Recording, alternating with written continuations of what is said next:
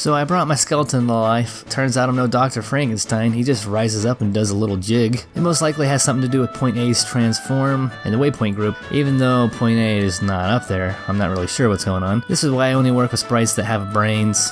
Did a little more work on enemy inheritance and added an attack sound. I also tightened up the graphics a bit on level 3.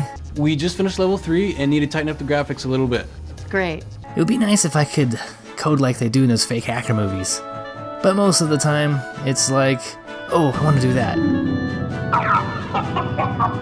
How do I do that?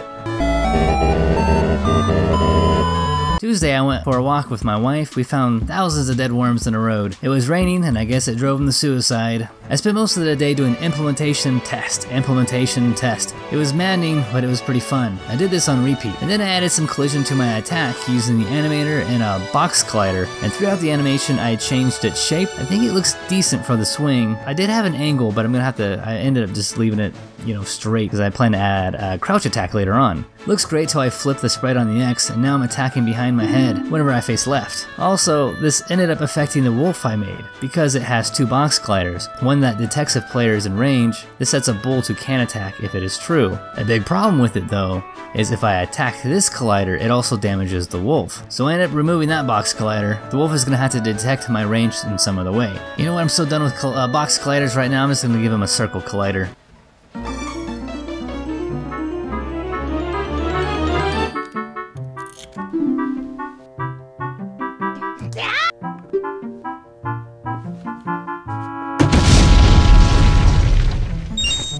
This would be a terrible idea if I had a rigid body with no constraints. Woohoo! Alright, today's gonna be awesome. I gotta work with some stuff that uh, I've been wanting to do for a while, and that is changing the uh, color of an enemy when they're attacked. So my little wolf here, when uh, he is hit with my sword, his tint will change to red and then back to its default after uh, a little while. I feel like this adds a little like weight and engagement to the game and lets the player know that things are reacting to them. It's awesome. I spend most of the day uh, on a floating number system, something that looks so simple in games, but when I try to implement it myself, it, I just had a really really hard time. But that's probably because I wanted it to like work for everything, like a gold pickups, experience, when the player uh, does damage or gets damage. It got a little complicated. But when I got the scripts to work, or when I thought they were working, they weren't because I forgot to turn the debugging comments on in the inspector, and I was working for a few hours trying to solve an issue that wasn't even broken. Okay, great, I get that turned on, and it's still not working, at least not in the scene. Oh, that's because I coded uh, for UI text and I was using a TextMesh Pro pre prefab, which, you know, is cooler because they can use gradients. I know I, I can feel you guys shaking your head at me now. I'll figure out a way to use that later. But for now, I'm just going to use the old UI text. So here's me damaging the wolf. Oh yeah, one damage.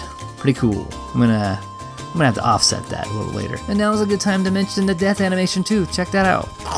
Sick. I look forward to uh, sharing this with you guys. That's all I have this week. I know it was only three days, but next week I'll be back with uh, four days of work, and hopefully uh, I will have some sort of a loot system for you. That would be awesome. Anyways, thanks for watching. Be sure to hit that like button for some bonus XP, and you can always join the guild by subscribing to this channel. Thanks again for watching, you guys. Bye!